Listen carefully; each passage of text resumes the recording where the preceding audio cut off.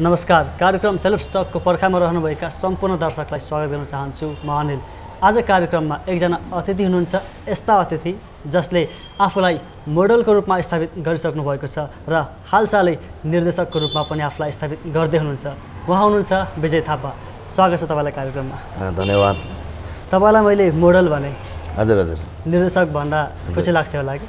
होइन म as a त म एउटा आर्टिस्टै हुँ होइन? चाहे अब यो आर्टिस्ट फिल्ममा चाहे डाइरेक्टर होस् चाहे मोडल होस् चाहे जुन पक्षमा पनि एउटा आर्टिस्टै हो जे भन्दा पनि मलाई ठिकै छ।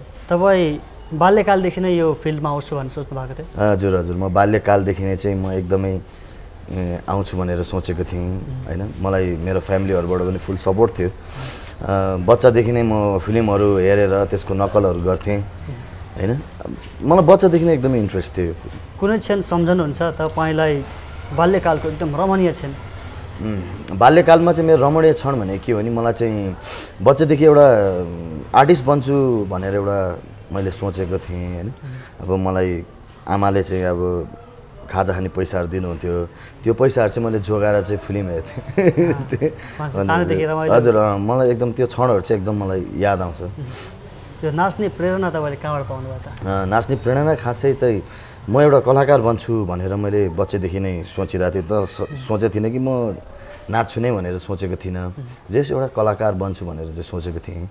अब नाच्ने प्रेरणा चाहिँ कसरी आयो भन्दाखेरि चाहिँ अब म जताततैबाट चाहिँ कुनै पनि पार्टी फङ्सन होस् चाहे जेसुकै होस् दाईहरूले चाहिँ मलाई नचाउनुहुन्थ्यो नाच्छ है भनेर। अनि ए मलाई नाच्नु पनि आउँदो रहेछ भनेर चाहिँ मैले त्यहाँबाट थाहा पाएँ। अब अलिकति नाच्दा नाच्दा त्यसरी नै यो फिल्डमा लागि। तपाईँ निर्देशक पनि हुनुभयो म्युजिक। भिडियोमा लागिसक्नु भएको छ। हजुर हजुर। के लाग्छ तपाईँलाई? म्युजिक भिडियोमा रमाइलो छ कि निर्देशक हुनुमा मोडल हुनुमा रमाइलो छ कि निर्देशक हुनुमा? दुई दुइटाको पेसा छुट्टा छुट्टै छ एउटा डाइरेक्टर भइसकेपछि रेस्पोन्सिबल चाहिँ धेरै आउँछ। कसरी प्रेजेन्टेसन गर्ने अब यसलाई कसरी तरिकाले चाहिँ राम्रो बनाउन सकिन्छ भनेर त्यो चाहिँ धेरै चाहिँ दिमागहरू लाग्छ भने मोडल गर्दाखेरि के छ भने गयो अब डाइरेक्टरले के दिन्छ त्यही गऱ्यो हिँड्यो त्यसमै हो। डिफ्रेन्स चाहिँ त्यही हो कि डाइरेक्टर भएपछि चाहिँ रेस्पोन्सिबल चाहिँ बढी हुन्छ अलिकति। के निर्देशक हुन्छु जस्तो लागेको थिएन नि तपाईँलाई थिएन।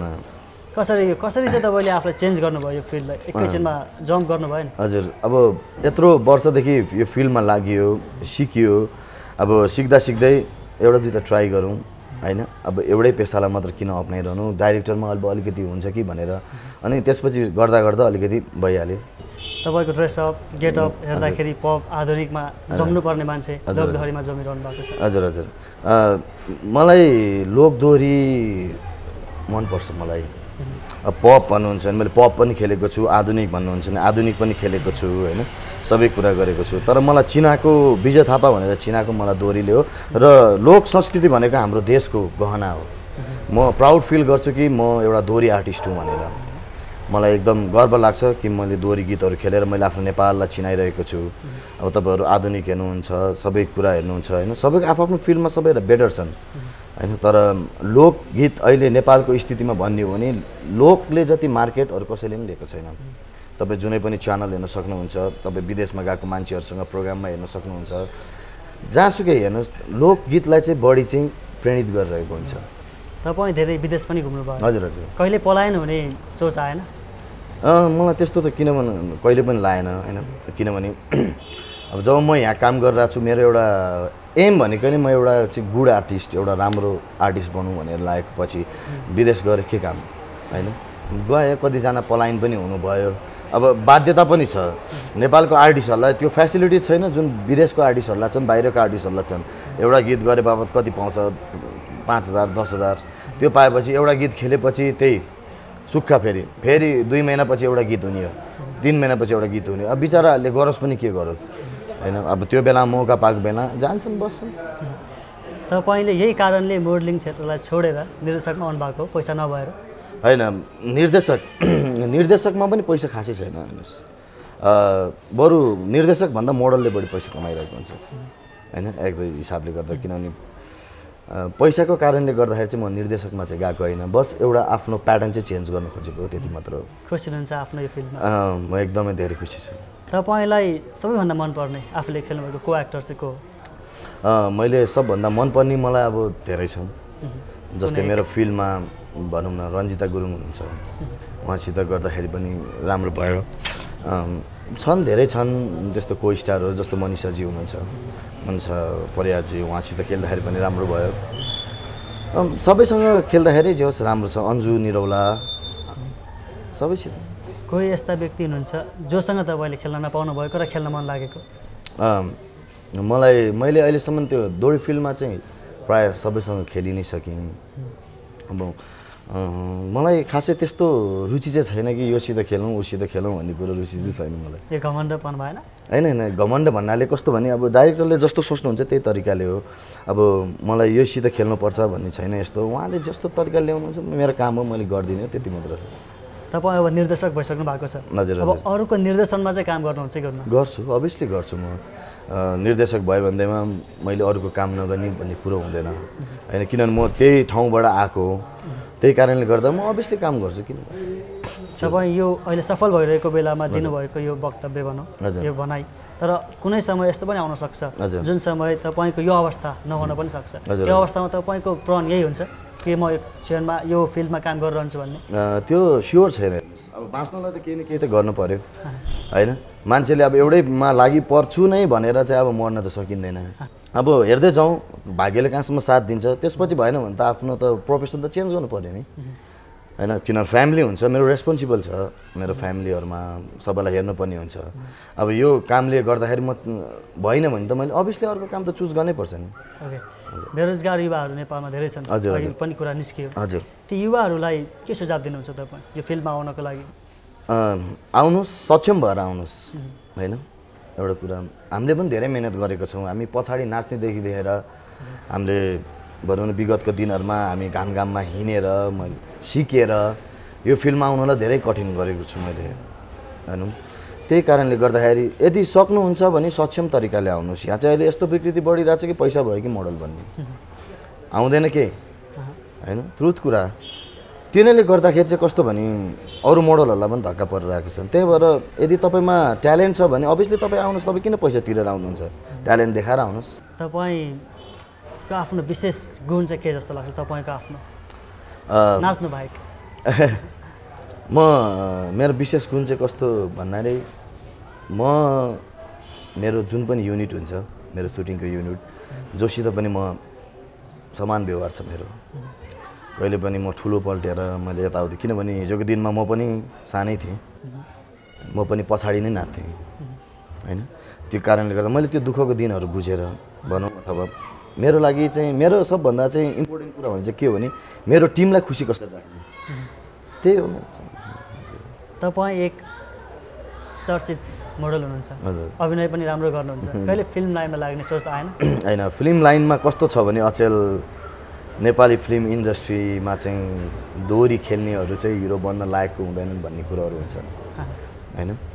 अब खै मलाई थाहा छैन मैले देखेको मुखबाट सुने कि फिल्मको अफर नआएको पनि होइन। अफर आयो आएर मैले फिल्म स्क्रिप्ट पनि पढेँ। होइन? अनि पछि आएर के भन्छ भने तिमीले यो लाइन छोड्नुपर्छ फिल्ममा आउनलाई। जब म यही ठाउँबाट इस्ट्याब्लिस भएको छु भने मलाई यो- यो ठाउँबाट हेरेर त त्यो डाइरेक्टरहरूले पनि त मलाई चिन्नु भयो मलाई बोलाउनु भयो कि यो केटामा छ भन्ने कुरो। त कि म जब जुन ठाउँबाट म इस्ट्याब्लिस भएँ त्यो ठाउँबाट ठाउँलाई छोडेर म कसरी जाने? भोलि गएर तैँले ल तैँले तेरो आमालाई बिर्सिदिएँ भन्ला अरे। म त्यसको लागि त त्यस्तो गर्न सक्दिनँ। होइन मलाई जुन ठाउँबाट मलाई पहिचान दियो विजय थापा भनेर मलाई जुन ठाउँबाट उभ्याउनु भयो उभ्यायो दर्शकहरूले यत्रो दर्शकहरूले मलाई चिन्नुभयो त्यो फिल्डलाई छोडेर म फिल्म हिट हुन्छ भन्ने नि त ग्यारेन्टी छैन।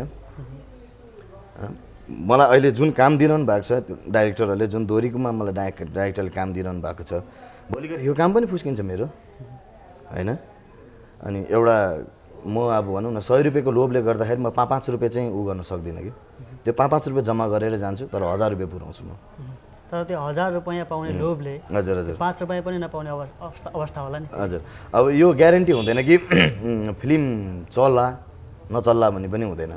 अब ओके मेरो भाग्यमा छ फिल्म चल्ला अरे भोलि म गएर चर्चित चर्चित हुनाले भनौँ न। इभन अब त्यो फिल्म फ्लप भयो भने मलाई जुन जसरी उभ्याउनु भएको छ डाइरेक्टर भोलि गएर त मैले दोहोरी खेल्दिनँ भनेर मैले भनेँ भने त अभियसली मेरो डाइरेक्टरहरू जुन दोहोरीमा हुनुहुन्छ उहाँहरू त रिसाउनुहुन्छ। तर असफल हुने डरले काम नगर्नु त कायरपन होइन र? होइन।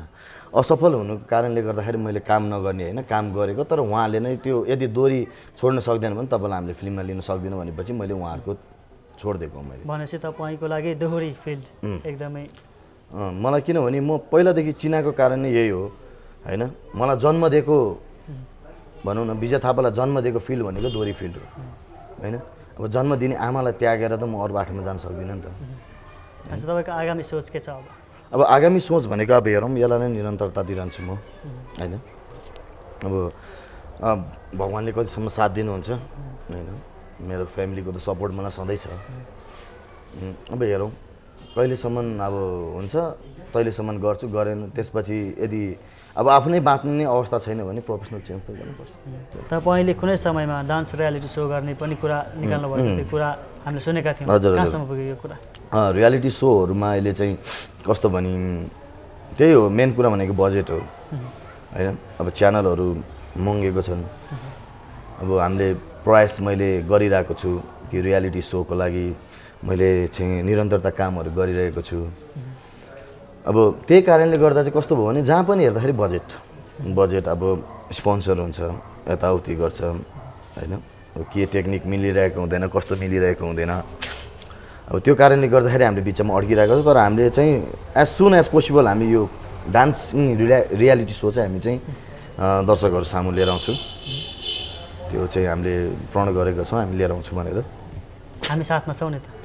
अभियसली तपाईँहरूको साथ नभए त मिडियाको साथै भएन भने त हामी त केही पनि होइन। जे पनि कलाकारलाई पुऱ्याउने भनेको सबभन्दा श्रेय भनेको मिडियाको हातमा हुन्छ।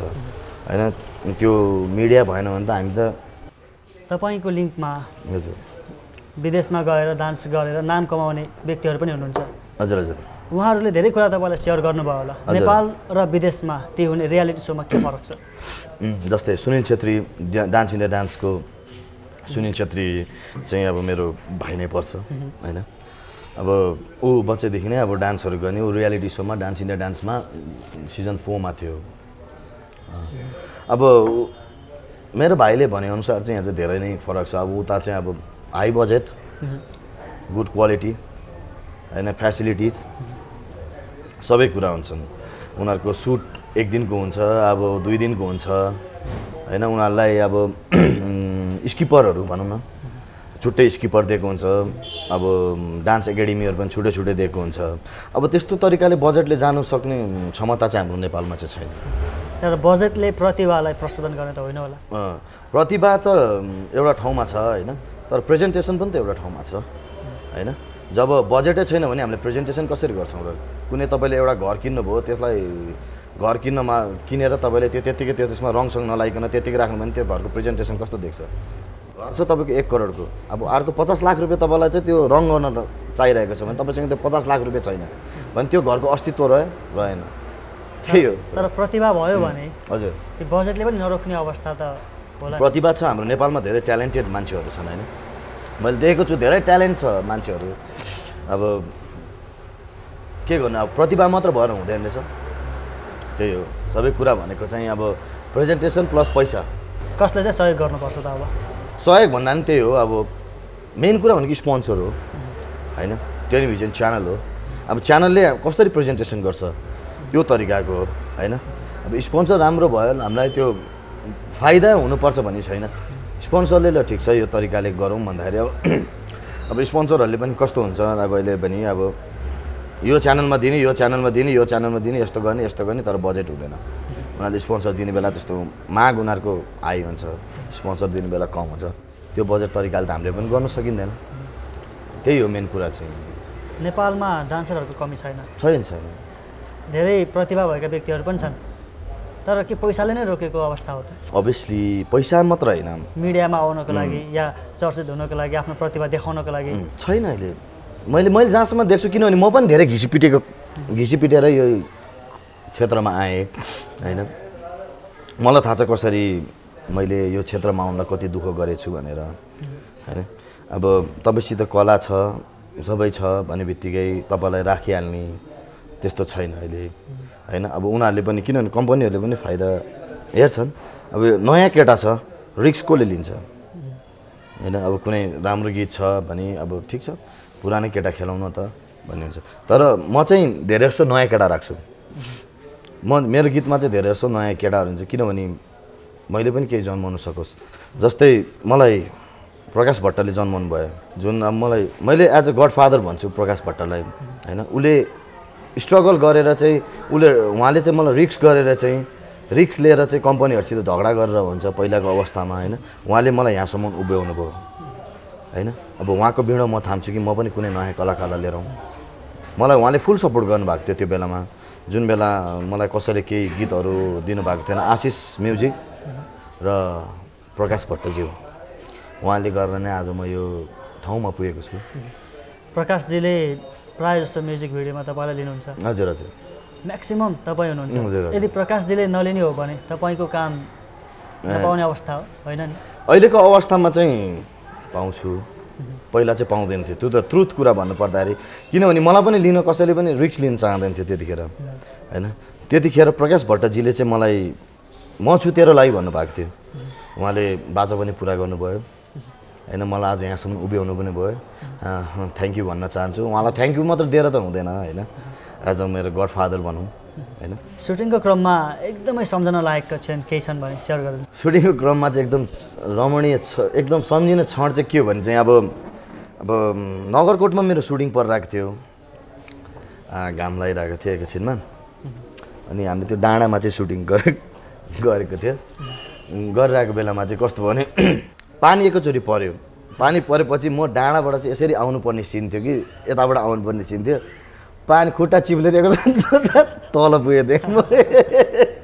त्यो त हिलो हिलो भएको लुगा। त्यो झन् कहिले पनि बिर्सिन सक्दिनँ म। धेरै रमाइलो हजुर। हजुर। सुटिङमा धेरै रमाइलो हुन्छ हामी। कुराकानीलाई निरन्तरता दिनेछौँ। अहिले पालो भएको छ छोटो व्यापारिक विश्रामको छोटो व्यापारिक विश्रामपछि पुनः स्वागत गर्न चाहन्छु कार्यक्रम सेल्फ स्टकमा। आज हुनुहुन्छ हामीसँग चर्चित मोडल तथा निर्देशक विजय थापा उहाँसँगको कुराकानीलाई निरन्तरता दिन चाहन्छु। विजयजी हाम्रो कुराकानी धेरै रमाइलो भइरहेको थियो। थोरै म कुरालाई फेरि पनि परिवर्तन गर्न चाहन्छु। तपाईँ लोकदोहोरीमा जमिरहनु भएको छ। हजुर हजुर। तपाईँलाई कहिले लागेन लोकदोहोरी गीतमा भद्दा शब्दहरू प्रयोग हुन्छन् ड्रेसअप त्यस्तै हुन्छन्? के भन्नुहुन्छ यो बारेमा? तपाईँ चलचित्रको गीत पनि हेर्नुहोस्। अब तपाईँ पप गीतहरू हेर्नुहोस्। तर लोकको आफ्नै छ नि एउटा विशेषता। लोकगीत भन्ने बित्तिकै एकदमै हा हुँ भइहाल्ने अहिले चाहिँ प्याटर्न चेन्ज भइसक्यो। अब जस्तै पहिला अब पहिलाको तपाईँको फिल्मको गीतहरू हेर्नुहोस्। चिनो फिल्मको गीतहरू हेर्नुहोस् कन्यादान फिल्मको गीत एभरग्रिन छन्। जस्तै हाम्रो भक्तराज आचार्यज्यू नारायण गोपालज्यू हाम्रो लेजेन्डहरू उनीहरू तारादेवीज्यू उहाँहरूको गीत हेर्नुहोस् र अहिलेको गीत सुन्नुहोस्। अब यो त फरक त भइहाल्छ। अब जेनेरेसन वाइज हुन्छ। होइन अब पहिला अब हामीले सुन्दाखेरि घुम्ती र लेट भयो। यो यो गीतहरू फेमस थियो होइन? अब अहिले त्यसलाई चाहिँ अब सेक्सोफोनधरि बजाउने भइसक्यो अहिले। दोहोरीमा पहिला भन्ने बित्तिकै कस्तो हुन्छ नि? मादल। होइन? बाँसुरी। त्यो दोरी दोरी भन्ने बित्तिकै त्यो आउनु पर्थ्यो। नेपाली टिपिकल ड्रेस अब त्यो आउनु पर्थ्यो। अब अहिले जेनेरेसन चेन्ज भयो कि अहिले चाहिँ जेनेरेसन चेन्ज भयो भने मलाई के खुसी लाग्छ भने पहिलाको दोरीहरू टिन एजर केटाकेटीहरूले कसैले पनि रुचाउँदैन थियो। भनौँ न। अहिले हेर्नुहोस् तपाईँ टिनेजरदेखि लिएर बुढा पाकाहरूसम्म सबैले रुचाइरहेको हुन्छन्। किनभने जेनेरेसन वाइज हामी त्यो कुरालाई चेन्ज चाहिँ गर्नुपर्छ। तर पनि धेरैले आलोचना गर्ने गर्छन् नि यो अलि सुहाएन यो अलि संस् संस्कृति बिगार्ने काम भयो भनेर। अब संस्कृति चाहिँ बिग्रेको जस्तो चाहिँ लागेको छैन होइन? अब हामीले अलिकति प्याटर्न मात्र चेन्ज गर्न खोजेको हो। अब त्यस्तै कुरा गर्ने भए त चलचित्रमा पनि त संस्कृति बिग्रिरहेको छन्। पप गीतमा पनि त संस्कृति बिग्रिरहेको छन्। होइन? त्यस्तै हेर्ने हो भने त गीत त सबै एउटै हो नि। अब हाम्रो लोक संस्कृति भयो भन्दैमा अब लोकगीत भयो भन्दैमा हामीले त्यति साह्रो बिगारेको पनि हामीले छैनौँ। हामीले कुनै त्यस्तो नराम्रो तरिकाले हामीले सुटहरू गरेको छैनौँ। होइन? अब अहिलेको तपाईँलाई मैले भन्नै पर्दैन नि। अहिले जति पनि तपाईँको नेपाली चलचित्रहरू बनेको छन् हेर्नुहोस्। सेन्सर नगरिकन कुनै पनि फिल्मै आउँदैन अचेल। होइन? त्यही सेन्सरको जुन काम छ दोहोरीमा लाग्ने हो भने त धेरै बन्द हुने अवस्था होला नि होइन? बन्द अब त्यो चाहिँ मलाई थाहा भएन होइन? तर हामी त्यतिसम्म चाहिँ जाँदैनौँ। गुन्यो चोली दौरा सुरुवाल लगाएर जुन लोक दोहोरीको सान बढेको थियो अहिले स्कर्ट लगाएर जुन नाचिन्छ नि। हजुर हजुर। संस्कृति बिग्रेको जस्तो मेरो व्यक्तिगत दर्शकहरूको त्यही जस्तो लाग्छ हजुर हजुर। अब संस्कृति अब बिग्रेको छ भन्ने भने हेर्नुहोस् अब युट्युब हेर्नुहोस् चेक गर्न सक्नुहुन्छ तपाईँ। पहिलाको रेन्ज र अहिलेको रेन्जमा चाहिँ अब अहिले माथि पुगेको छ जस्तो लाग्छ। अब बुढापाकाहरूको हेराइले अनुसार हो भने यहाँ म चाहिँ एप्रिसिएट गर्छु कि हो यो कुरा चाहिँ हो कि अलिकति संस्कृतिहरू चाहिँ बिग्रिरहेको छन्। होइन पहिला धोती चोलो लाएर हामीले नाच्थ्यो भने अहिले हामी स्कर्टसम्म पनि पुगेका छौँ। तर हामीले चाहिँ के हो भने अलिकति चेन्ज दिन खोजेको यो कुरामा चाहिँ। अब सधैँभरि धोती चोली धोती चोली धोती चोली लाउँदा लाउँदा पनि त वाक्क हुन्छ। एउटै भिडियोको शैली जस्तो देख्छ। अब गीत अनुसार त गेटअप गराउनु पऱ्यो होइन? अब कम्पोजरले अब छोटो छोटो लुगा छ मेरो भनेर कुनै कम्पोज गर्नुभयो भने हामीले गएर धोती चोरी लाएर त हामीलाई त त्यसपछि नराम्रो हुन्छ। हाँस्छन् मान्छे। अब जस्तो गीत हो त्यही अनुसारले हामीले म्यानेज गर्ने हो त्यति। शब्द पनि धेरै अपभ्रंश भएर यस्तो अवस्थामा आइरहेको छ नि। शब्द अब कसरी अब शब्द बनाउने मान्छेलाई थाहा होला त्यो चाहिँ।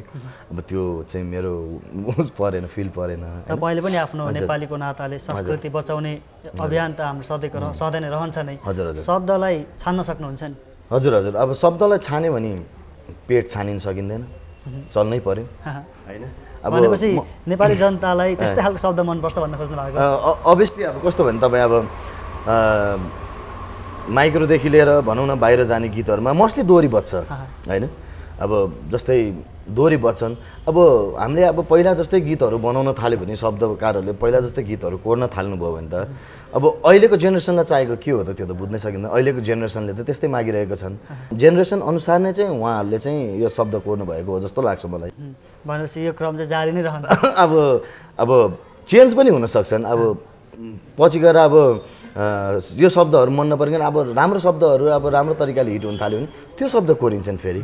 दर्शकहरूले जस्तो रुचाउनु भयो त्यही तरिकाले जान्छ नि गीतहरू। भन्न खोजेको सबै सबै शब्दहरू त्यस्तै हुन्नन्। हुँदैन सबै गीतहरू हुँदैन। कुनै कुनै यस्ता छन् जुन सुन्न पनि लाज लाग्छ। हजुर, हजुर। र हेर्न त अझ हामीले भन्नु नै पर्दैन। र अब तपाईँले यो ट्रेन्ड चाहिँ चेन्ज गर्न सक्नुहुन्छ नि? अँ, ट्रेन चेन्ज गर्नु भन्दाखेरि पनि अब कम्पनीको हिसाबले हुन्छ। अब कम्पनीले अब मलाई यस्तो किसिमको गीत चाहियो यो तरिकाले चाहियो। सिङ्गरहरूले भन्नुहुन्छ हामीलाई यो गीत यस्तो तरिकाले चाहियो। स्कुल उहाँहरूको हो हामी भने प्रिन्सिपल हो हामीले चलाउने मात्र काम हो। होइन? इस्टाब्लिस गर्ने काम उहाँहरूको हुन्छ कि? उनीहरूले पहिला हाम्रो स्टोरी यस्तो तरिकाले गरौँ भनेर विशेष गरेर यस्तो तरिकाले गरौँ भन्छ हामीले त्यही अनुसारले गर्नु पऱ्यो प्रिन्सिपलको हातमा धेरै कुरा हुन्छ नि विद्यार्थीलाई हजुर हजुर। राम्रो बनाउने नराम्रो बनाउने। हजुर हजुर। त्यो अनुसार त केही न केही हुन्छ। हजुर। अब मैले पनि भन्ने हो होइन? अब यस्तो तरिकाले गर्नुपर्छ यस्तो तरिकाले गर्नुपर्छ भनेर चाहिँ भन्ने हो। अब उहाँहरूले मान्नुभयो भने हामीले त्यही क्रमले गर्ने हो होइन भने अब होइन यसलाई यस्तो तरिकाले पनि राख्नु सर भनेपछि त अभियसली हामीले दिनै पऱ्यो होइन उहाँहरू भनेको अब हामी त क्ला हामीले त दिने हो उहाँलाई। उहाँ भनेको हाम्रो कस्टमर जस्तै हो। मोडललाई निर्देशकलाई सिआरबिटी पिआरबिटीले कतिको फरक पर्छ? मलाई त केही पनि फरक पर्दैन त्यो कम्पनीलाई हो। मोडललाई त्यो कम्पनीको कम्पनी किनभने कुनै पनि कम्पनीले सिआरबिटी पिआरबिटी दर्ता गर्नेदेखि लिएर सबै काम कम्पनीको हुन्छ युट्युबदेखि लिएर कम्पनीको हुन्छ होइन?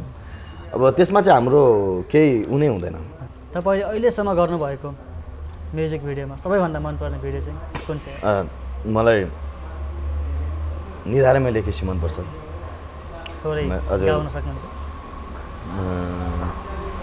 मलाई त्यति त आउँदैन होइन? आँखा झिमी झिमी। कति राम्री तिमी।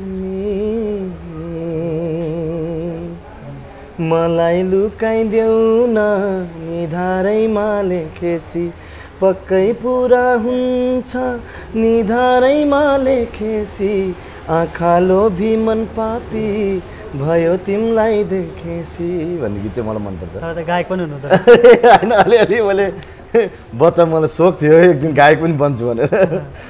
भनेपछि तपाईँ अहिले गायक पनि बन्ने सोख लिनुभएको मोडल पनि हुनुहुन्छ निर्देशक हुनुहुन्छ बहुप्रतिभाशाली व्यक्तिसँग बस्न पाएको छु खुसी लागेको थ्याङ्क यू दर्शकहरूको तपाईँ धेरै नै हजुर। रुचाइमा हुनुहुन्छ धेरै नै धेरै नै रुचाउनुहुन्छ तपाईँलाई।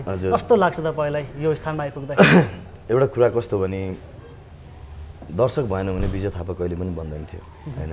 उहाँहरूको मायाले गर्दाखेरि नै म आज यो स्थानमा पुग्न सफल भएको छु होइन? उहाँहरूले दिनुभएको माया सधैँ मलाई चाहिरहन्छ होइन? म उहाँहरूको मायाको सधैँ भोगिरहनेछु भोगी छु होइन?